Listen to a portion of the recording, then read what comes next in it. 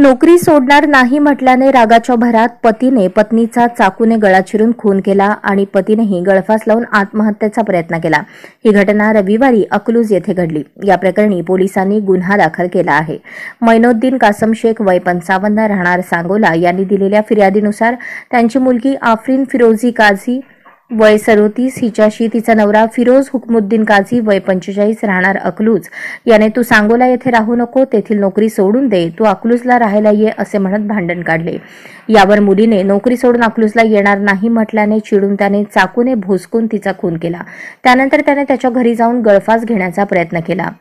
पत्नीचा खून करून पती थेट पोलीस ठाण्यात हजर झाला. ही घटना सोमवारी सोलापुरातील स्वागत नगरात उघडकीस आली. यास्मिन सैफन शेख वय चाळीस असे खून झालेल्या महिलेचे नाव आहे. तिचा खून करून पतीने स्वतःला पोलीस ठाण्यात जाऊन अटक करून घेतली.